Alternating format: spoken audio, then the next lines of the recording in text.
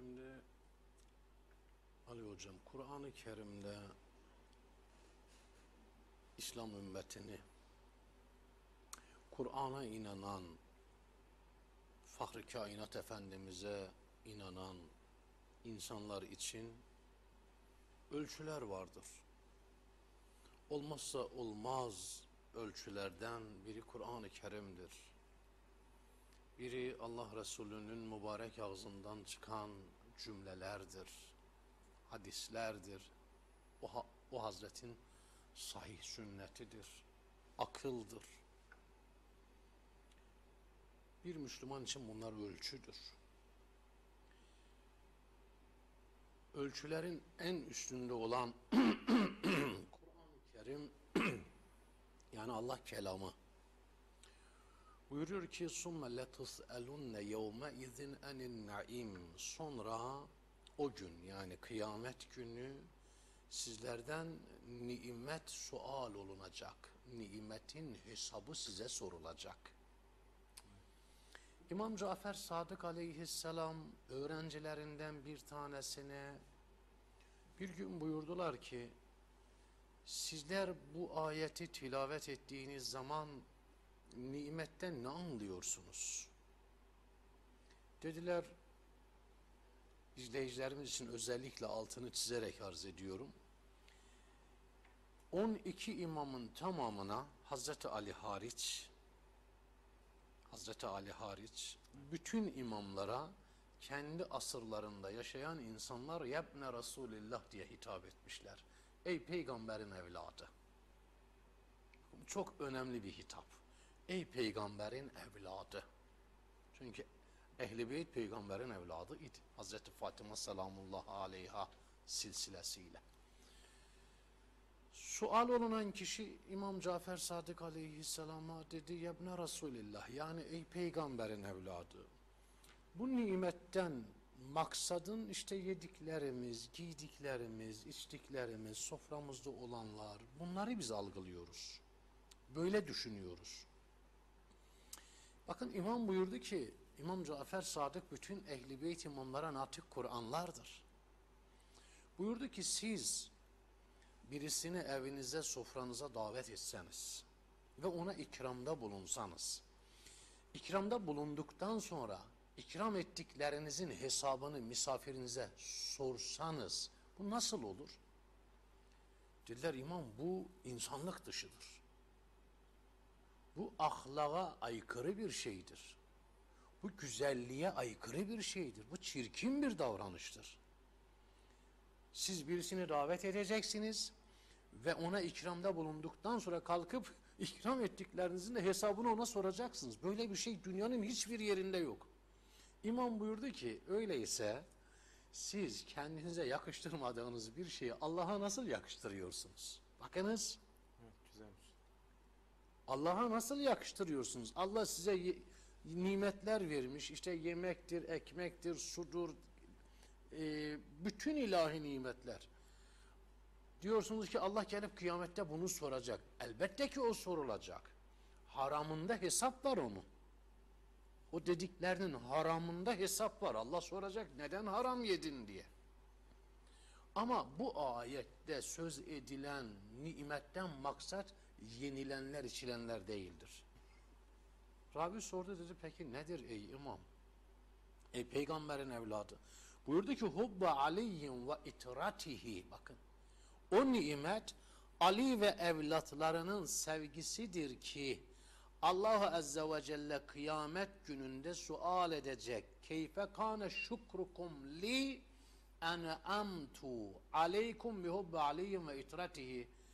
Ali ve evlatlarının sevgisini ki nimet olarak size verdim. Bu nimetin şükrünü nasıl yerine getirdiniz? Bakın. İmam buyurdu ki ثُمَّ لَتُسْأَلُنَّ يَوْمَ اِذِنَنِ naim Sonra kıyamet gününde onlardan nimetin hesabı sorulur. Ayetteki nimetten maksat dedemiz Ali ve evlatlarının yani 12 imamın sevgisidir.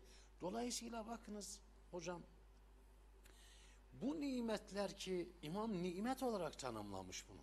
Ayetin tefsirini yaparken nimet Fatiha suresine bakıyoruz. Sıratellezine bakın en'amte Allah'ım bizi nimet verdiklerinin yoluna hidayet et. Bakın nimetlendirdiklerinin yoluna hidayet et. Her gün Fatiha suresini okuyan insanlar bu ayeti tekrar ederler. İhdina sıratel mustakim. Bizi doğru yola hidayet et. Sıratellezine en'amte aleyhim. Doğru yol hangi doğru yol? Nimetlendirdiklerinin yolu. Nimetlendirdiklerinin yolu. E bakıyoruz ki Maide suresinin 3. ayetinde de buyuruyor ki El yevm ekmeltu lekum dinekum ve etmemtu aleykum nimeti. Bugün dinimi kamil ettim. Ben sizlere nimetimi tamamladım. Bakın Maide 3'te nimet. Fatiha suresinde nimetlendirdiklerinin yolu. Nimetlenenler kimlerdir? Nimet kimlerdir? Nimet Peygamber Efendimiz ve sonrasında Hazreti Fatıma ve 12 imam.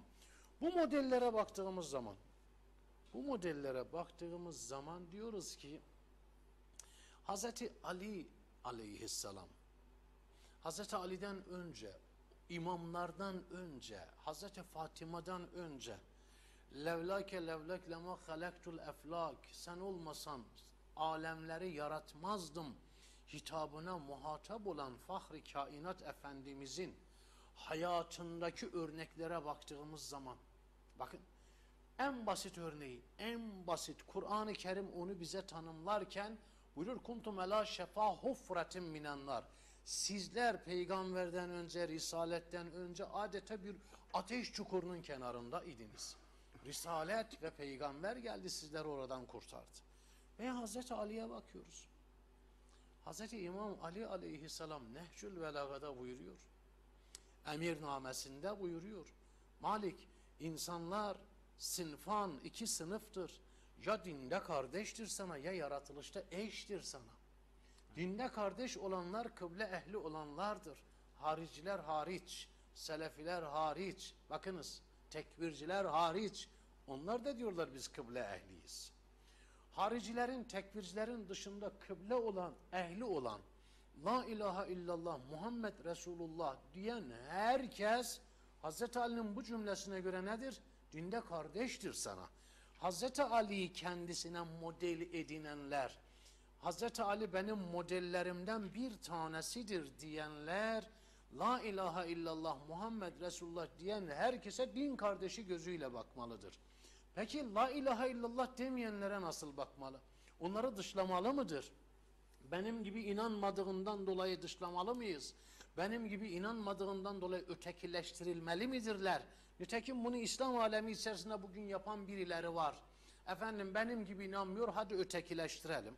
Hadi dışlayalım. Hadi hedef gösterelim. Dışlama, hedef gösterme. Efendim ötekileştirmenin dışında farklı farklı söylemlere, eylemlere girenler var ki konumuz bunun dışında. Peki bizim gibi inanmayan, kıble ehli olmayan, La ilahe illallah Muhammed Resulullah söylemeyenlere biz nasıl bakmamız lazım? Hazreti İmam Ali'yi kendisine idol model kabul edenler onlara da nedir? Eş gözüyle yani denk gözüyle bakmalıdır. Hazreti Ali o şekilde tanımlamış.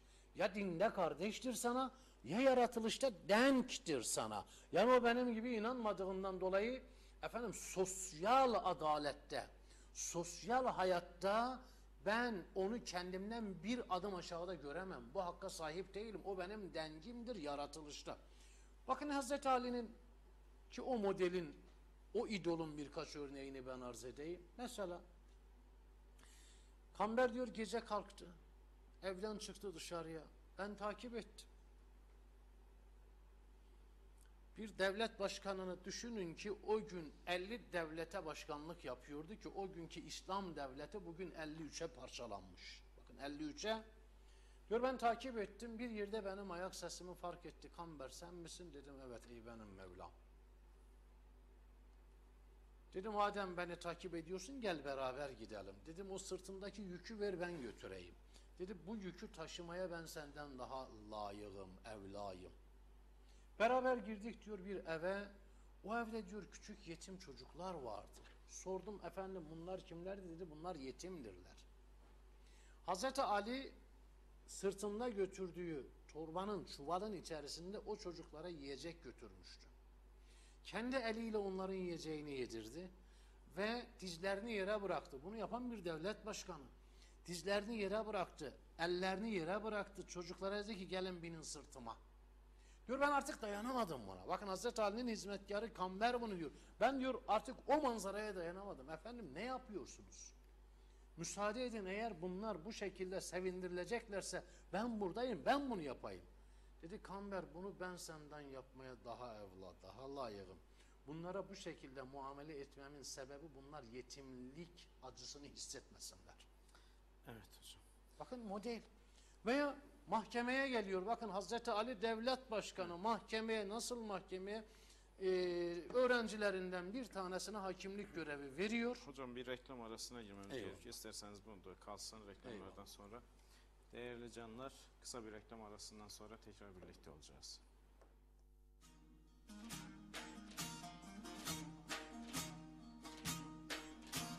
Müzik